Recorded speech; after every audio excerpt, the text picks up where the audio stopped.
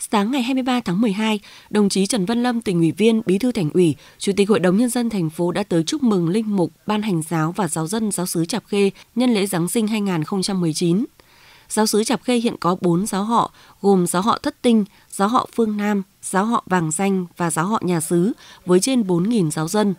Tại đây, đồng chí Bí thư Thành ủy, Chủ tịch Hội đồng nhân dân thành phố chúc linh mục, các chức sắc, chức việc và bà con giáo dân đón một mùa Giáng sinh vui vẻ, an lành và hạnh phúc. Đồng chí mong linh mục, ban hành giáo và bà con giáo dân sống tốt đời đẹp đạo, kính Chúa yêu nước, chung tay xây dựng khối đại đoàn kết toàn dân tộc, thực hiện tốt đường lối chính sách và pháp luật của nhà nước, tích cực tham gia các hoạt động xã hội, giữ vững tình đoàn kết lương giáo, cùng chung sức chung lòng xây dựng thành phố Uông Bí ngày càng giàu đẹp văn minh.